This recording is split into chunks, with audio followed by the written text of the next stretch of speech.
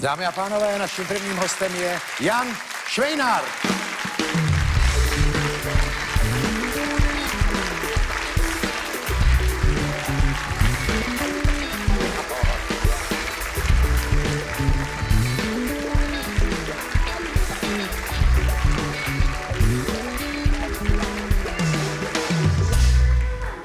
Jan Švejnár, taky nedávno kandidát na prezidenta, přední ekonom, americko-český nebo česko-americký, zakladatel Search a tak dál. Všiml jsem si, že ty už máš ty gesta na lidi, takový ty, já jsem to, já jsem to trénoval, já to trénoval tady za plentou, víš, jsem to už A zkoušel. ty možná tak, no. příště budeš kandidovat ve Spojených státech už, ne? Na prezidenta. No, tak eh, ne, to mě Madeleine vysvětlila, že to nejde. Že ona a já Madeleine nemůžeme. Albrightová? Albrightová, protože my jsme se narodili, jako já jsem se narodil eh, v České republice, v Československu, takže nemůžu. Ty to máš blbý tady i tam. Tady zas, právě. protože žiješ tam. Tam, ano, jo, oni to vidí, že jsem tam, ty zase vidí, že jsem tady.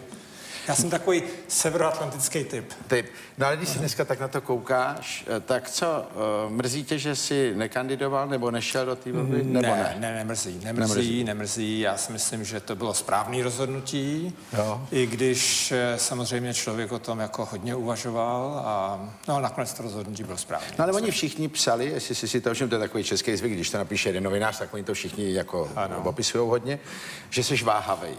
Jo, tak to vždycky takové, já tam slyším, ano, ale já tomu to nebylo váhavost, protože no, to byla pečlivá příprava. A pečlivá příprava, váhavost. No a co bylo součástí pečlivé přípravy teda? No tak pečlivá příprava znamená, že se napřed podíváš, do jaký míry opravdu máš popularitu nebo nemáš. No. Jak jaký jsi to dělal? můžeš dát Jak dohromady. Tak to jsem se díval že jo, na průzkumy veřejného mínění, to průzkum. nevypadalo špatně. Pak jsem si říkal, dokážu sestavit výborný tým a opravdu jsem byl schopný dát dohromady výborný tým. No a kde to jako nevyšlo, a to bylo zajímavé při té vlastně první přímé volbě, jsem si spočítal, kolik by to tak asi stálo. Mm-hmm. A tam jsem se teda řádově lišil od potenciálních sponzorů, kteří očekávali, že to bude stát velice málo. No kolik? No tak já jsem si myslel, že tak 30 až 60 milionů, no. což bylo nakonec správný. Oni to odhadovali tak na milion, dva, tři. Oni odhadovali kampaň na milion dva, tři. tři, Čili by ti koupili kapesník a deštník. Takže přesně tak. tak. A zbytek, že jako to bude na ksicht. jo, jo, že nepotřebuješ vlastně ne, ne, ne. kampaň. Jo. No a tak to je taky zvláštní, že si to myslejí nějaký Jo. lidi, ne? Tak bylo to zajímavé, myslím, že se poučili. Potom nakonec říkali, že jsem teda jako měl pravdu. A tak to je taky takový určitý zadosti Učinění. že jo? No, no, no. No a na druhou stranu ty učíš na Kolumbijské univerzitě, nebo vlastně tam vedeš takovou zvláštní věc, že se zaobíráte tou globální ekonomikou. No, no, no, no. To já se tím zaobírám tady sám. Jo, no. A z té oblohy tady takhle. no já mám tady oblohu a tak, ale eh, prosím tě, ta globální ekonomika, já mám pocit, že s tím je čím dál víc problémů. No jo, to je. No proto mám to centrum. Proto máš to centrum. No právě, no, protože se to musí studovat. Že? Když No a jako- co jste zjistili zatím? No, že je to problém. Že je to Velký problém. Čili to samé, co já, ale já to zjistil Jo, zadarmo. ano, ano, ano, přesně tak. No my o tom píšeme, my o tom máme sympozia, večeře. No je, no chápu. Chápu. No. Já blb to tady zadarmo po večere. To je problém. A vy jo. potom, já mám pocit, eh, John Josefe, že je to problém. Ano, přesně tak. ano. On to hned dá do skrypt a odkáže přesně, se ano. na tebe. Přesně. No. A já si řeknu, tak to byl zajímavý poznatek a, A rozvedeš to dál. Ano. Ne, ale tak... To je pokrok, to je Oni jsou pokrok. tam reální problémy, Ne, jsou reální problémy. eh, Jsou, protože eh, to vlastně vidíme i na tom, že se změnil celý eh, jeden kus obchodování, že můžeš No. obchodovat elektronicky. Všechno, ano, Velká tak. část peněz vůbec neexistuje, jenom probíhá No, na po, počítači. no, přesně tak, přes noc se přesune z Hongkongu do No. Prahy nebo jinam, přesně tak. A páky, všude jdou No, páky. právě, Já všechno. mám úplně dneska výčitky, že neumím páku. Jo, takhle, ano. To je Obchodovat všechno na se páku. na páku, přesně A mně tak. chodí i nabídky, rádi za vás budeme obchodovat na páku. Jo, prodáme vám páku. Páku, nebo máme tady pár fondů na páku. No, no, no, ano, a já si vždycky říkám, teď já blb neumím páku. No. A oni říkají, vždycky říkají, že jsou tam větší rizika. Jo, Já ano. vím, kam to míří, ale e, páka. To znamená, že si půjčíš i na to obchodování a pak děj se vůle boží. No a ty doufáš, že vyděláš hodně peněz, tu páku splatíš Já vím, a jsi až z toho boháč, no. No a když to udělá banka, tak řekne, my jsme přišli o všechno, a jestli nám okamžitě prachy nedáte, lehne vám celá země. To je přesně tak, co se stalo na těch západních zemích, v Americe napřed. No naše banky na tom byly mnohem líp, protože ty ještě neuměly ty páky. Ale učej se, ne? No tak jo, ale naštěstí při té krizi ještě neuměli. Ne, neuměli. Tak. Dobře, a co jste zjistili s tou naší ekonomikou třeba? No tak ta naše ekonomika by si mohla vést mnohem líp. Jo. To jste To zjistili? jsme zjistili, to jsme zjistili. To A, teda zajímavé. no. A kdy? Ale tak postupně samozřejmě, Postupně. to nemůžeš všechno odkrýt No, to- to je najednou, pár to, let jako, věc, to je no. samozřejmě, samozřejmě. Ale já myslím, že co je, co je důležité, když se jak člověk vezme historicky, že vlastně ta naše ekonomika nebyla moc dobře řízená už od roku 39. Aha. No. Takže to je dlouhá doba. Počkej, od roku 39, no tak No. to ji tady šest let řídili Němci, No že jo? právě, tak no. to za tak to to nemůže. nebylo pro nás moc To za to výhodný, nemůže. No. No a potom pak bylo tři roky takový váhání to a bylo pak jenom jsme tak, se jako se- pustili do plánovaného komunismu, ano, hospodářství. přesně, plánové hospodářství. No. A když se začalo rozpadat, no, tak jsme jako převzali to tržní hospodářství, akorát, že jsme si neustanovili dobrý právní rámec. No a tak nastaly Se všechny to ty přehmaty, no, přesně tak. No. No dobře, a teď jsou zprávy první takový, že se to prý trošku zlepší. Tak to možná, ale opravdu to jsou takový úplně první zprávy, já bych na to ještě moc nedal, protože je docela možný, že se to ještě zvrátí zpátky. Že se to ještě zhorší. No, no ale takže jiná jako- možnost už není. no, buď tam, nebo tam, Jsou jo? dvě. No stagnace, Buď se to stagnace, stagnace. Ale že já blbec Jo. nešel na ekonomii. No, šel. ano, přečete, Ale bez škol, víš, No. rovnou, že bych dělal profesora. No ne, to protože ty, jsou dvě ekonom- možnosti. Ano, dvě je, jako v americké se říká, jako z jedné strany jednou rukou a z druhé strany druhou rukou a tam je známý výrok prezidenta Trumana, říkal, dejte mě jednorukýho ekonoma. No ne, ale a na druhou stranu, kdyby ta krize se zase ještě vrátila nebo zhoršila, což Je nevylučuješ, možný, je možný, no. tak co by, co, co si mám představit pod tím, No že tak by se já- já si zhoršilo? myslím takhle. Teďka bude strašně důležitý ten výsledek voleb. Eh, Ono se to nezdá, ale Tady. vlastně tady, protože za poslední dva roky my jsme byli jediná země v regionu, všichni naši sousedé rostli a my jsme byli jediná země, která ekonomicky klesá v rámci HDP, řekněme. Takže jsme si to přivodili sami.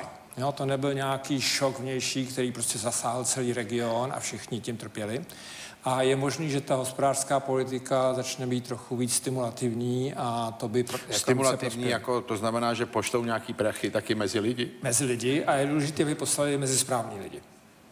To teď je ovšem klíčový problém. No, a třetí problém navazuje, kdo je ten správný, kdo to určuje. Ano, ano. Jo. A kdo to dostane? Čili prachy se pošlou, ale No. teď to začne. Teď Komu to začne, a ano, kolik, ano. jo? Takže ten princip je celkem z ekonomického hlediska jasný. Chceš to poslat tam, kde bude vysoká návratnost. Mhm. No, a tudíž, i když to krátkodobě bude znamenat, že se nám trošku zvýší eh, zadluženost, tak vlastně ta vysoká návratnost znamená, že nejenom ten dluh splatíme, ale budeme na tom všichni ještě líp. Já si teda myslím, že žádný stát žádný dluh nikdy nesplatí. No tak to je Na to jsem si přišel sám domů. pravda. Je tak trošku pravda, ale tam zase z toho vysvobodí zlomky. Zlomky. Zlomky. Zlomek je strašně důležitá věc, protože ten dluh se počítá jako dluh lomeno HDP. Jo, a když A ti když ti roste roste HDP, no, ty seš chytrý, tak dobrý, ten- no, ano, ano. No já jediný, co vím, jsou zlomky. No, no, ano, dobrý. Takže když roste to HDP, P. tak i když ten dluh Je eh, velký, je velký tak tak, se se to snižuje. zmenšuje. No přesně tak. Jo, Takže takhle. takhle. se vlastně A dostali co jsme velkého dluhu. švindlovali to číslo v tom zlomku dole? Tak to zkoušeli samozřejmě řekové. Řekové to no a dělali. poprvé se jim to podařilo. Jo, že to No prošlo. a pak, eh, pak jsem mluvil s šéfy statistických úřadů Evropské unie, kteří říkali, tak je výborný, my jsme do toho Řecka poslali celou skupinu statistiků, už se nám to nebude opakovat. Mm-hmm. A ono se to opakovalo. Opakoval. No, tak, tak. Oni to naučili ty statistiky tam možná. Ne? Ten penzijní systém, jo. No. To je na pár let, ne? no tak To eh, lehne celý. ten penzijní systém bude potřebovat reformu. To teda je. Jo, takhle. Vy tomu říkáte takhle. My tomu říkáme lehne a vy Jo, ano, bude ano, potřebovat ano, bude reformu. Tak, no se, já, když se na to podíváme, tak vlastně, když se zakládaly penzijní systémy, tak lidi v průměru žili tak rok po dokončení práce. Jo, takže Čili ten penzijní systém byl tak na rok. No, teďka je to na byla na rok. 30 let. No tak to je docela jiná otázka, že jo? To je problém. No. A zase je to krásný, ne? No jo, to, když by se to podařilo, ty generace, které to budou používat, těch 30 let, jsou na tom výborně. No nejsou. Ta spravedlnost je v tom, že nedostanou ani vindru. No to je už ta další generace. Oni Ta dostanou už je taky no. na rok. Ano, no tak to je taky A možný. řeknou, to máš a- na jo. 30, víc není. No, ale. ano, ano. Šetří si je hospodář. pravda. No. Ale je zajímavý, a to bychom mohli jako uskutečnit tady, že v těch takových těch ustálených demokraciích a ekonomikách ten úřad, který má na starosti penze, posílá lidem každý rok nebo dokonce každé čtvrtletí prostě Výkaz. zprávu o tom, výkaz, kolik tam mají a jak dlouho budou pobírat, jak velkou sumu a že můžou jít později, že budou pobírat víc nebo dřív a míň.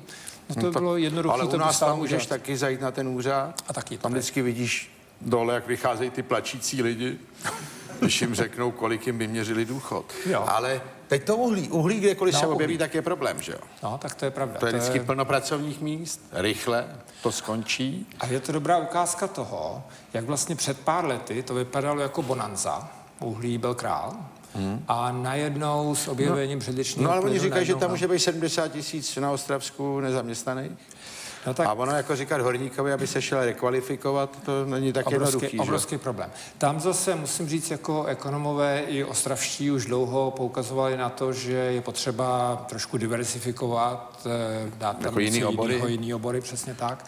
A no ale jaký? tam se to No tak eh, Může to být, že jo, cokoliv. Tam se může, jestliže přichází noví investoři, tak se Dobře, může tak jsou všude doly, tak se tam chceš dělat. Jako. No ne, tak samozřejmě, ale můžou se tam na povrchu taky dělat ještě nějaké jiné činnosti. No činnosti, jakože se můžeš no. koukat na ty doly, nebo co tam, no, tam, no, tak, můžeš tam, nemůžeš, tam být nějakou... Koupaliště tam nemůžeš dělat, jsou všude haldy, ale no tak...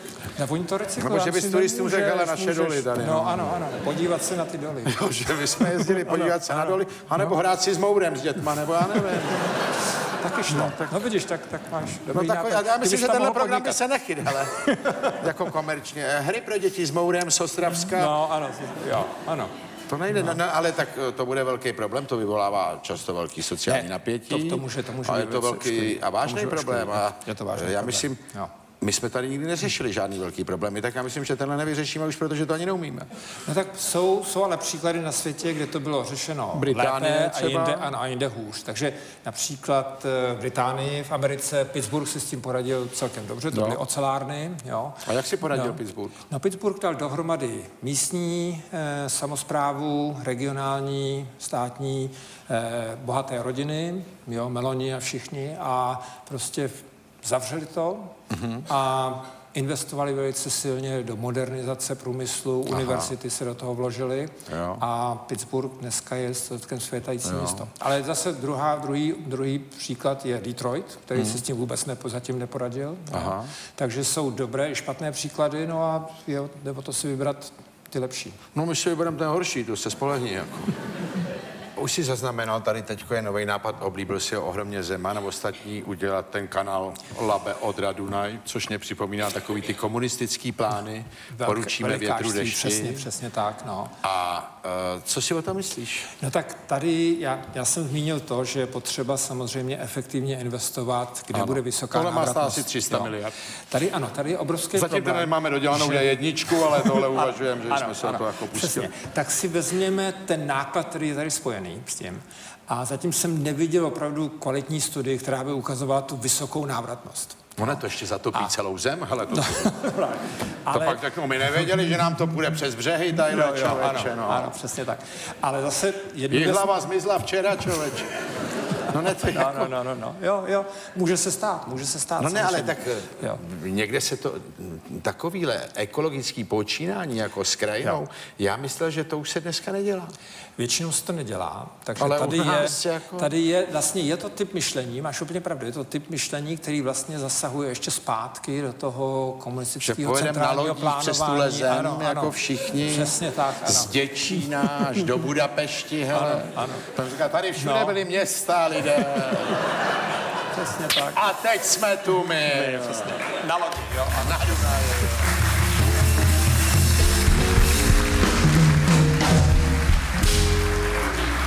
Takže ty bys to ne, nestavěl asi. Já bych to propočítal, jestli se to o tom vážně uvažuje. No, bych, ale navrhoval bych něco jiného, co opravdu, no. jak si myslím, že by stálo za to. Máme obrovskou výhodu, že jsme jako země kompaktní. To znamená, že máme vlastně, nejsme roztahaní jako třeba Chorvatsko. Jo. A že kdyby byla opravdu vytvořená dobrá dopravní infrastruktura. No a to neumíme zatím. No počkej, tak možná máš pravdu, ale vezmi si Plzeň Prahu, to, to bylo dvě a půl hodiny a teď to... je to 50 minut. Jo? No to je úžasný. Takže Praha je teďka předměstí. No když se to povede, no Tak je to úžasné. No přesně tak, No ale no. dobře, ale tak my jsme 20 let tady od převratu a zápasíme s D1. No, to je pravda, to je pravda. A to do toho problém, nám říkají, no. že dalších 15 let ji budou opravovat.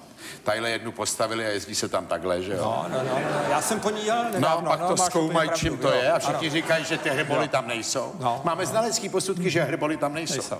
Ty jedeš takhle, jedeš? No, ano, hrboli nejsou. Ano. Tady je posudek, ale... Čili... Je to pravda, je to jako...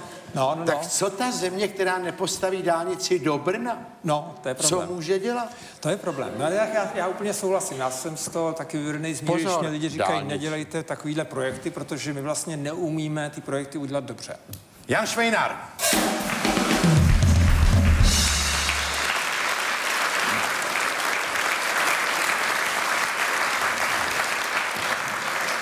Já ještě poprosím, ať mě sem někdo přijde zapnout větrák, protože nejde.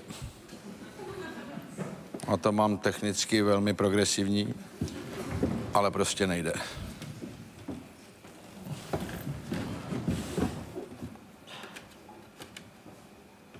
No, to je o něčem jiném. No jo. Jo, tak to je ale moc zase. No, to by mě oddělal, že jo.